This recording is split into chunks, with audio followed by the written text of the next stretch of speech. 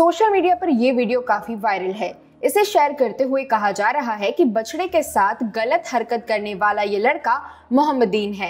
ऐसे ही सांप्रदायिक दावे के साथ ये video Twitter verified handle Ankur Arya ने ट्वीट किया था। बाद में इस ट्वीट को प्लेटफॉर्म से हटा दिया गया था। इसके अलावा और भी कई वेरीफाइड हैंडल्स ने ये वीडियो इसी दावे के साथ ट्वीट किया है। तो क्या है इस वीडियो की असलियत? आइए जानते हैं। ऑल्ट न्यूज़ ने तफ्तीश करते हुए पाया कि ये वीडियो और इसके साथ शेयर किया गया दावा दोनों अलग अलग घटनाओं के हैं।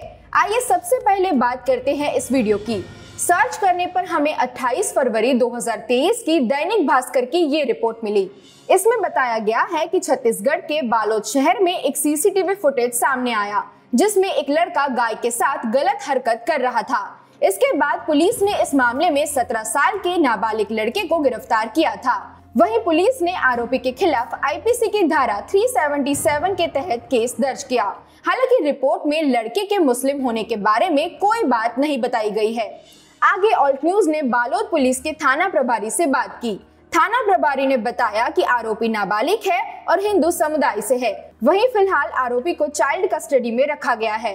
ऑल्ट न्यूज़ ने बजरंग दल से जुड़े उमेश सेन से भी बात की, जिनका ज़िक्र दैनिक भास्कर की रिपोर्ट में किया गया है। उमेश सेन ने बताया कि उन्होंने ऐसी कई घटनाओं की जानकारी पुलिस को दी है।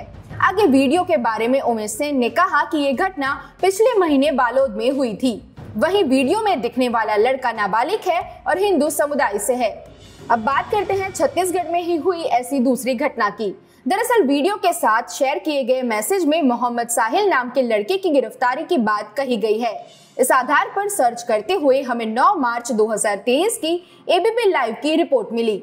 इस आर्टिकल में बताया गया है कि होली के मौके पर नशे में धुत चार लड़कों ने गाय के साथ अनैतिक संबंध बनाया था। इसकी जानकारी मिलने पर छत्तीसगढ़ के भट्टी थाना पुलिस ने मौका वारदात से चार लड़कों को गिरफ़्तार किया, जिसमें से दो लड़के नाबालिग भी थे। पुलिस के हवाले से रिपोर्ट में दो नाबालिगों के अलावा अन्य आरोपियों के नाम 20 वर्षीय सतीश चंद्र दास और गांधी चौक निवासी 18 वर्षीय मोहम्मद साहिल बताए गए हैं। पूरे मामले के बारे में जानने के लिए ऑल्ट न्यूज़ ने भट्टी पुलिस स्टेशन के थाना प्रभारी से बात की। उन्होंने हमें बताया कि ये घटना होली के दौरान हुई थी। पुलिस को सूचना मिली थी कि कुछ लड़के गाय के साथ असभ्य हरकत कर रहे हैं। इस पर एक्शन लेते हुए उन्होंने दो नाबालिग समेत चार आरोपियों को गिरफ़्तार किया। वही सोशल मीडिया पर किए जा रहे दावों के बारे में बताते हुए उन्होंने कहा कि इस घटना में एक आरोपी मुस्लिम समुदाय से है, वहीं बाकी तीन आरोपी हिंदू है। यानी छत्तीसगढ़ में गायों के साथ गलत हरकत करने की दो अलग अलग घटनाओं को झूठा सांप्रदायिक एंगल देकर शेयर किया गया।